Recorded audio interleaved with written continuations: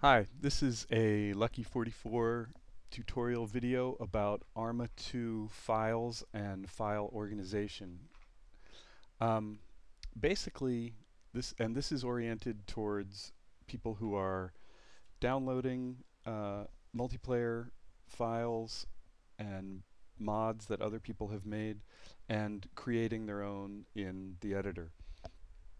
ARMA 2 is a wonderful uh, possesses a wonderful editor system and as long as you know the basics about where files want to be and uh, where it's looking for things you'll be uh, you'll have a foundation to create a lot of cool stuff.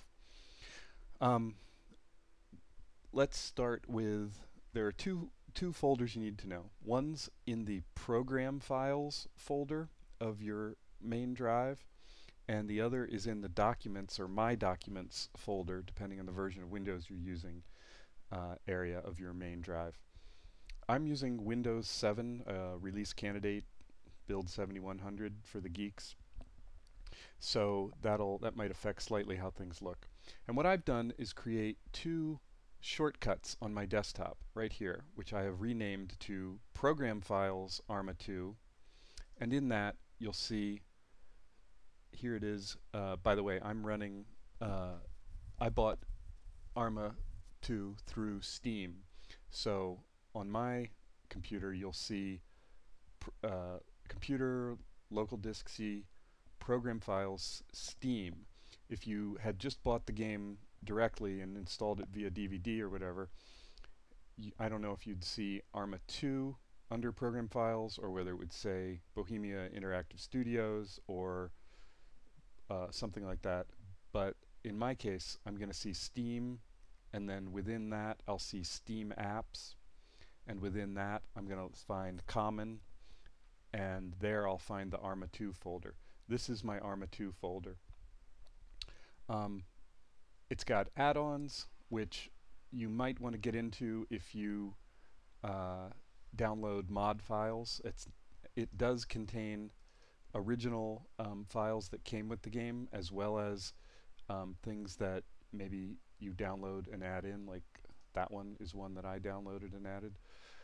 And I've added these two one is a backup of all of these files and the other one is mods that I'm not using at the moment.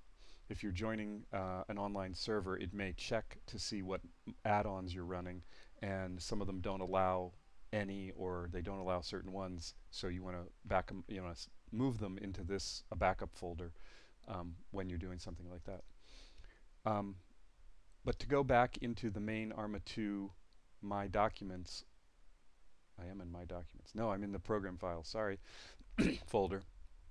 Um, in here, I've got multiplayer missions, and here are files which I've downloaded, and uh, that was confusing. Uh, I was trying to do that.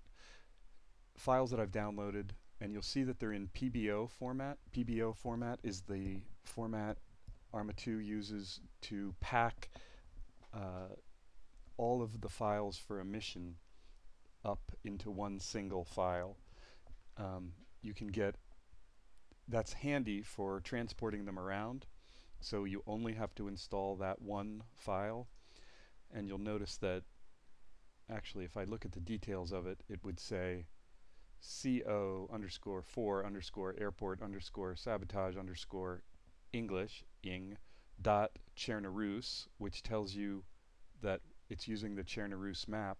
And if I looked at the extension, it would be dot .pbo. Um, that's great. It's nice and compact to use PBO files. But if I want to get in and edit them or look at the scripts that they're used or see any of the files they're using, I have to unpack that PBO format you can download a number of unpacking applications. I'm using the Arma UnPBO application, which I got from armaholic.com, where you can get a number of other tools.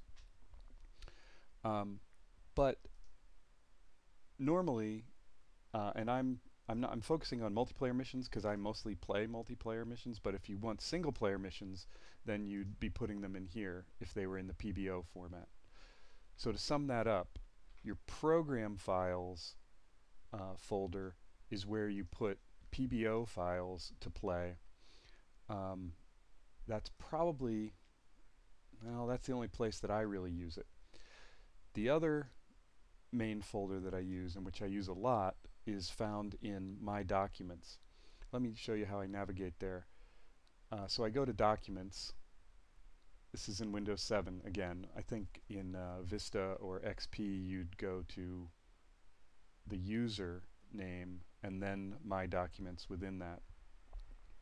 But here I go to Documents and then the one I'm looking for is called Other Profiles. I'm not sure why it says other profiles, but it includes any profiles that I've used, I think, when playing or editing. And Lucky 44 is the main one that I use. So within this, I find uh, missions and multiplayer missions. Missions means single player, and as well as the little information about my profile.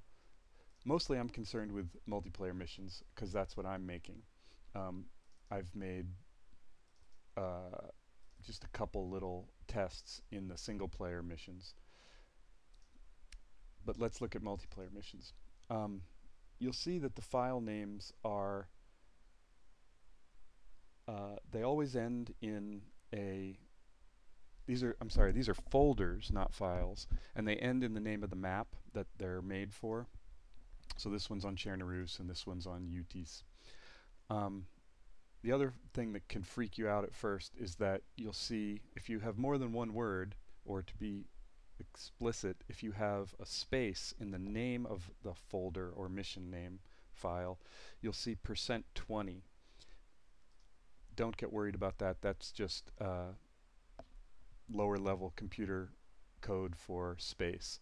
So if you don't have a space in there, you won't see that. But if you have uh, like this mission is called a race 20 test 2. I'm sorry, a race test 2, but it looks like a race a percent 20 race percent test 2. Okay, so that's the file organization. That's where you'll find the folders that for missions that you've made and let me talk a bit about what you'll find in there. Let's try this one. In a very simple uh, no, that's not a very simple one. Uh, let's try this. Yeah. In a simple mission, you'll only find a mission file.